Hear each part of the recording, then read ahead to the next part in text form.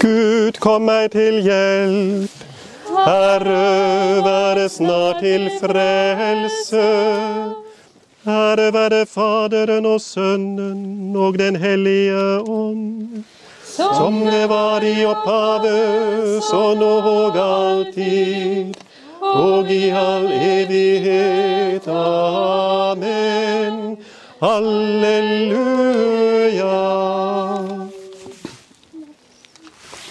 Å, min sjel, du går og vanker Blant de mange verdens ting. Samle dine spredte tanker, se deg oven til omkring. Og hva nytter den jordens hytter? Pilegrim, si, hvor er ditt hjem? La ditt øye akte nøye på den nye Jerusalem. Kast med lengsel troens øye opp imot den fagre stad. Se den stråler i det høye, kranset av en stjernerad. Den er funnet fast og grunnet, se hva vår grunnvoll har. For av rene edelsteine er den strålende og klar. Se hvor jaspis murer tindrer, Se de perleporters glans.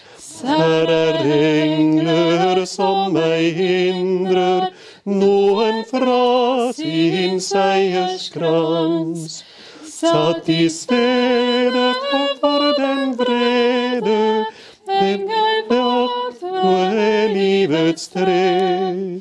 Og de frydes når de bydes inn til evig fly og led.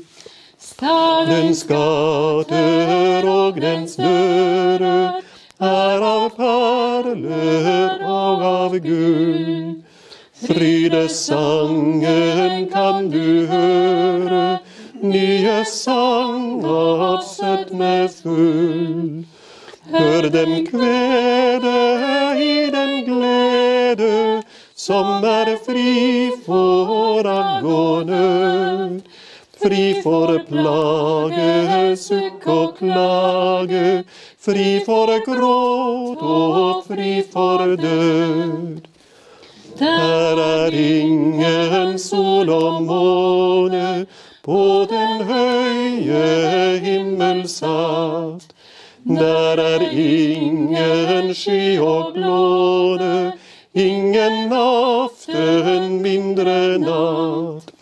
Der skal være glans og ære, se Gud Herren selv er sol. Se i alle hjerter falle, lys på lys fra lammets stol. Å, min sjel, du går og vanker blant de arme verdens ting. Samle dine ville tanker, se deg oven til omkring. Herre, led meg og bered meg til din himmel, til mitt hjem. Gjør meg verdig, gjør meg ferdig til det nye Jerusalem.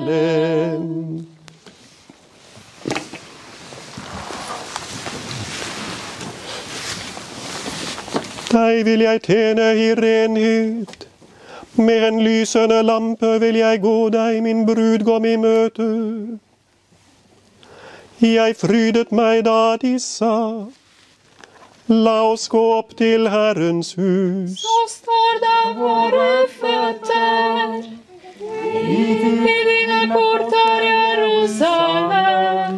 Jerusalem, du velbygde by, sammenføyde til et hele. De tok sammen stammene Herrens stammer. For å prise Herrens navn etter Israels lov. Der står dommerseter, troner for Davids hus. Med om fred for Jerusalem. Det går dem vel som elsker deg.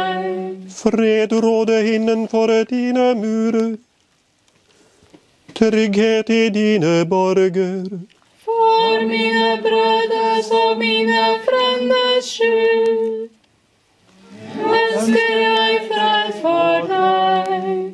Fordi Herren vår Gud har sitt hus i deg, ber jeg for din lykke. Ære være Faderen og Sønnen og Den hellige ånd. som det var i opphavet, så nå og alltid, og i all evighet. Amen. Deg vil jeg tjene i renhet, med en lysende lampe vil jeg gå deg, min brudgom, i møte. Salige er de rene av hjerte, for de skal se Gud. Hvis Herren ikke bygger huset, arbeider bygningsmannen forgjeves. Hvis Herren ikke vokter byen, våker vekteren til ingen nytte. Det er fåfengt å stå opp før daggry. Arbeide til langt på natt og ete slitets brød.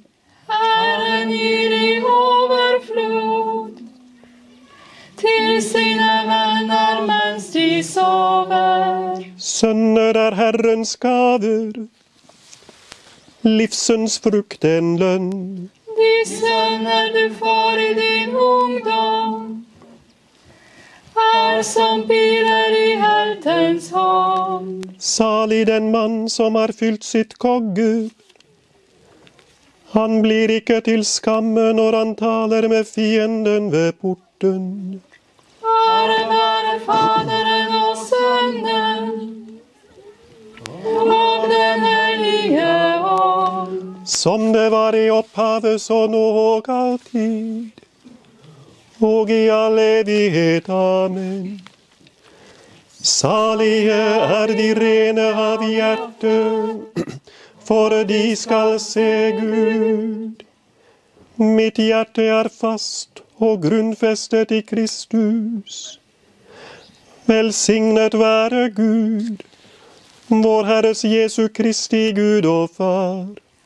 Han som har velsignet oss med all åndelig velsignelsen i himmelen i Kristus. For i ham har han utvalgt oss, før verdens grunnvoll ble lagt. Til å være hellige og ulastelige for hans åsyn. I kjærlighet. Etter sin egen frie vilje har han forutbestemt oss til å bli hans sønner ved Jesus Kristus. Sin nådes herlighet til lov og pris. Den nåde han rikelig har skjenket oss gjennom sin elskede. I ham er vi frikjøpt gjennom hans blod. I ham er våre synder tilgitt etter hans rike nåde. Den nåde han har hatt fylder over oss. I strømmer av visdom og innsikt. Slik har han gitt sin viljes mysterium til kjenne for oss. Etter den frie beslutning han selv på forhånd hadde fattet. Om må fullføre sin frelsesplan i tidenes fylde. Og sammenfatte alt i Kristus, alt i himmelen og alt på jorden. Ære være Faderen og Sønnen og Den hellige ånd. Som det var i opphavet, så nå og alltid. Og i all evighet. Amen. Mitt hjerte er fast grunnfestet i Kristus.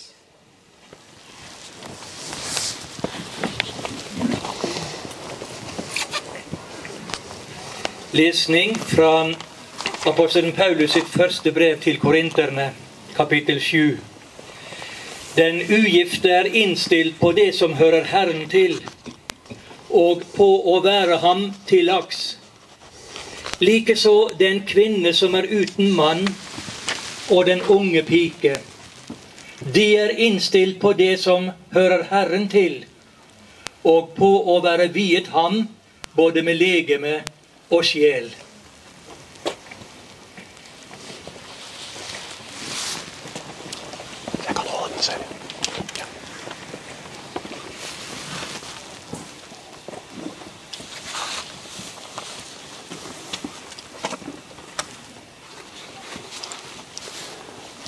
Det var snakk om at eh, vi skulle ha et vers fra Sunniva-hymnen nå, men jeg vet ikke hvor sangerne er blitt av.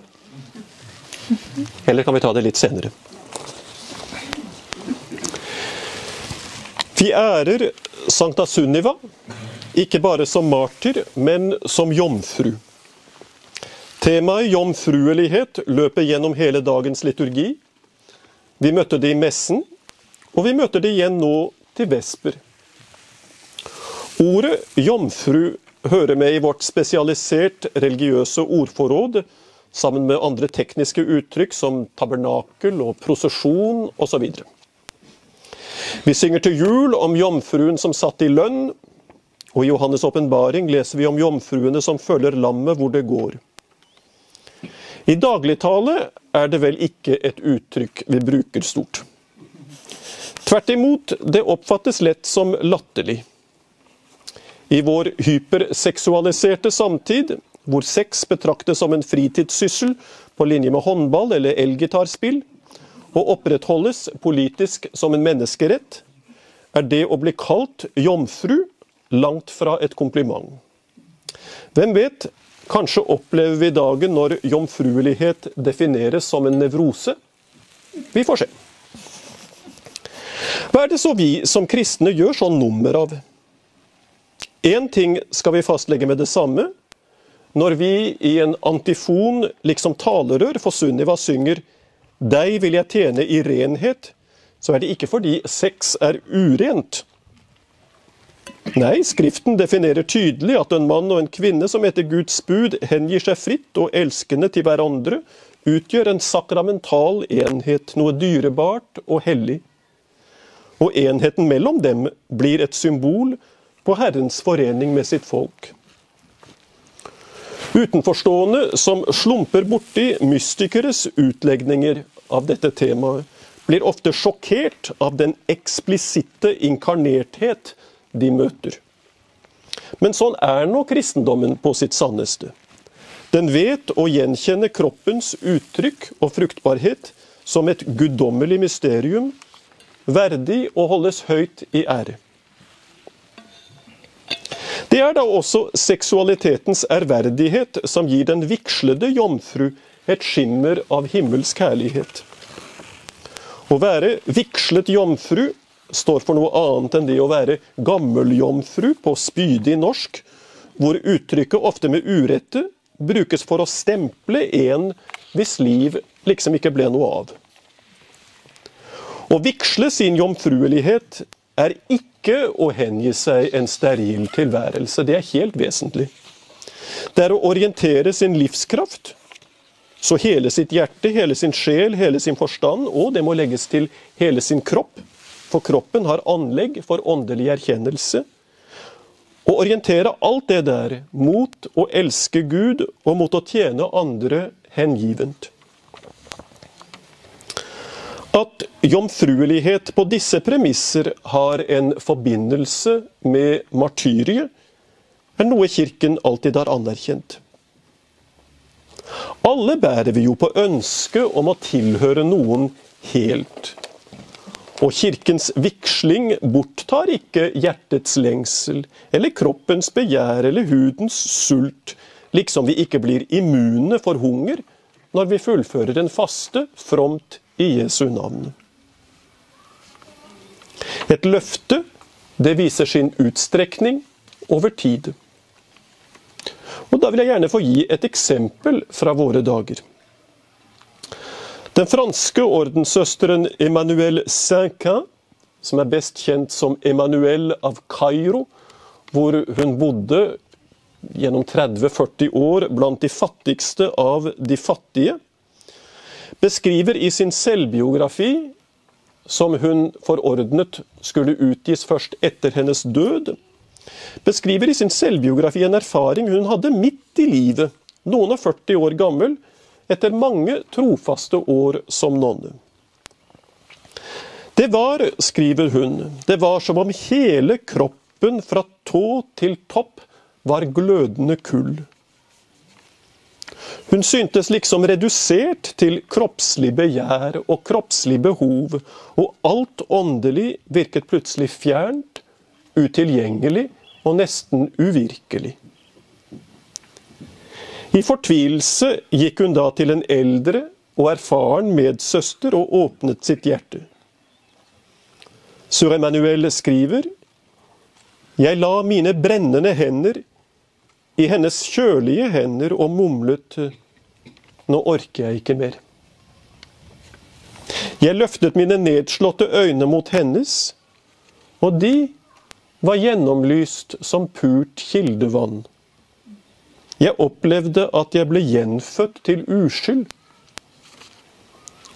Den gamle nonnen begrep og visste hva erfaring hva Emanuel gjennomgikk, og hun sa, ja, men kjære, du har da et hjerte. Og det sier seg selv at det iblant brenner for livlig. Du prøves nå i ild, og det gjør godt for en nonne. Ild prøver metall og renser det. Så ga denne gamle nonnen sin medsøster et enkelt råd. Du må be, men du må også handle. Det er noe gedigent, det å holde fast ved én og samme pakt gjennom et helt liv. Godt sagt. Det er noe gedigent, det å holde fast ved én og samme pakt gjennom et helt liv. Hjelp deg selv, så vil himmelen hjelpe. Og så, noe vesentlig, åpne ditt hjerte for andres sårethet, så blir dine sår helbredet. Sør Emanuel omtaler den erfaringen som et vendepunkt i hennes liv, som virkelig var, tror jeg, et hellig liv. Det var som en uthuling av hennes inderligste vesen, som gjorde henne skikket til oppgaven som ventet. Det å bære Kristi kjærlighet til de utstøtte. Og jeg vil si det gjør godt å høre et sånt vitnesbyrd, som kaller en spade en spade fra et menneske med stor integritet, så sparer vi oss selv for en hel masse forenklende snikksnakk. Trofasthet koster, det gjelder for oss alle. Og det finnes ingen snarvei til menneskelig og kristen modenhet om vi er gifte eller enslige, om vi er prester, legfolk, munker eller nonner. Herren opplærer våre hender til strid, ber vi i en salme som alltid gjør inntrykk for meg. Herren opplærer våre hender til strid, og det er med hensikt. Striden, den gode strid, det er vårt liv. Dette fabelaktige, men noen ganger litt skremmende eventyr.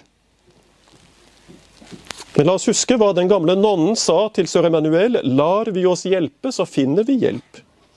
Vår Gud er paktens Gud, hans navn er trofasthet.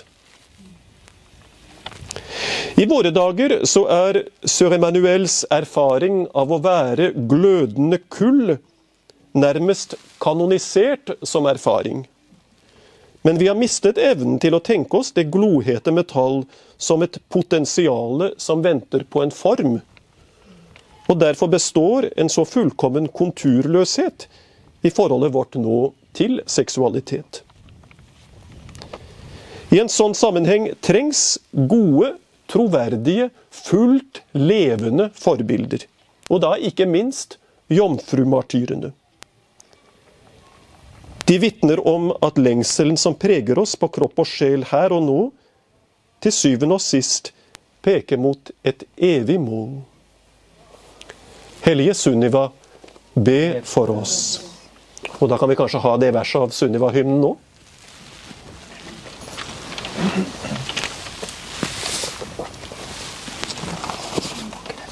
det kan ta du.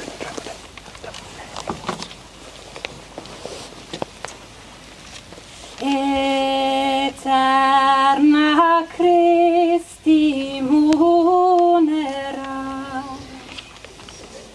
Lauda Mater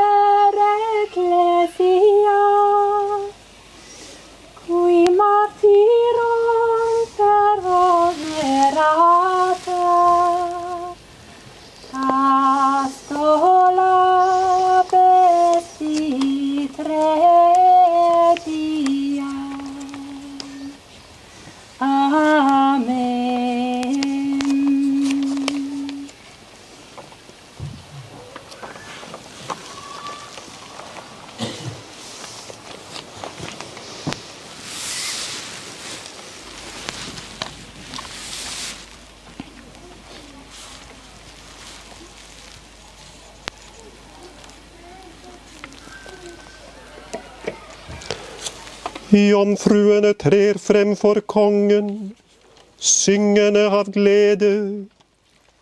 Jomfruene trer frem for kongen, syngende av glede, De går inn i kongens slott. syngende av glede. Ære være Faderen og Sønnen og Den hellige hånd. Jomfruene trer frem for kongen, syngende av glede. Et liv i renhet og tro ble kronet i dette ene offer. Hun forble jomfru og vant til sist martyrkronen. Min sjel opphøyer Herren. Min ånd fryder seg i Gud min frelse. Han som har sett til sin ringe kjennerine. For se for nå skal alle slekter prise meg salig. Store ting har han gjort mot meg, han den mektige. Hellig er hans navn. Hans miskunn varer fra slekt til slekt. Mot dem som frykter ham. Han gjorde storverk med sin sterke arm. Han spredte dem som gikk med hovmodstanker. Han støtte herskerne fra tronen.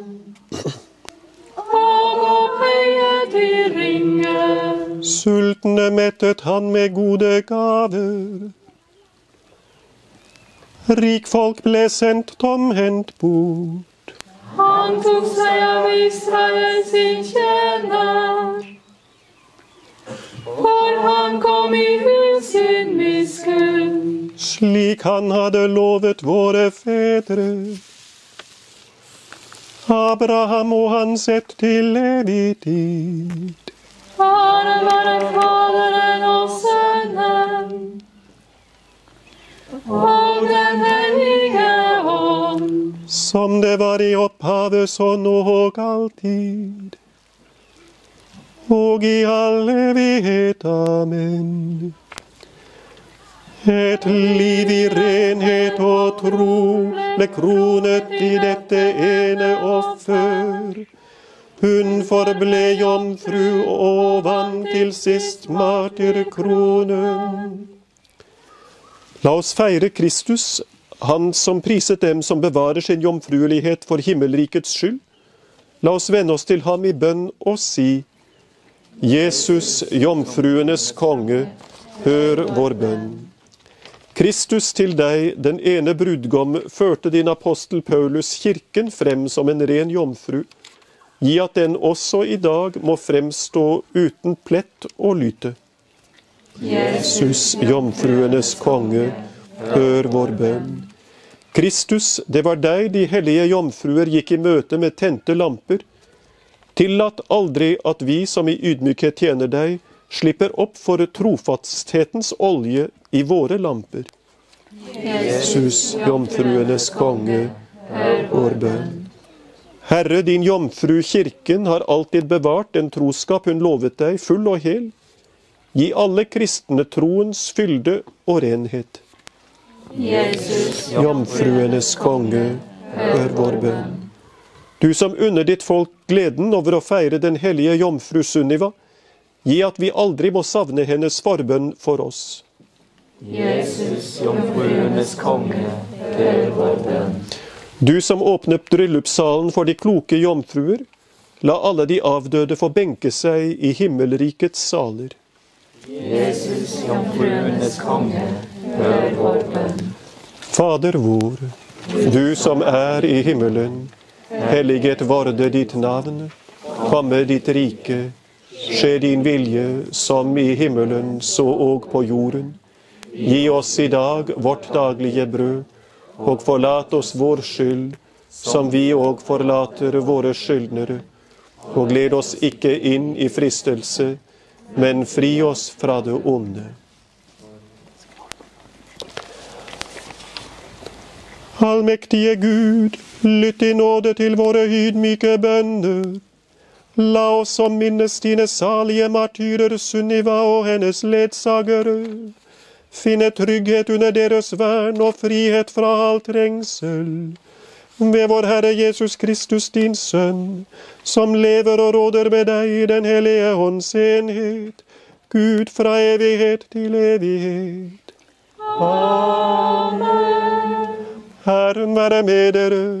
Og med din ånd, Herrens navn være lovet. for nå til evig tid. Vår hjelp er i Herrens navn. Han som skaper himmel og jord. Den allmektige Gud, Faderen, Sønnen og Den hellige ånd velsigne dere alle. Amen. Salve Regina, Mater misericordiae, vita dulcedo, et spes nostra salve. Ad te clamamus, ex unes filii Ede, ad te sospiramus, gementes et flentes, in hac lacrimarum valle. Ea ergo advocata nostra, illos tuos misericordes oculos ad nos converte. Et Iesum benedictum fructum ventris tui, nobis post hoc exilium ostende. O clemens, o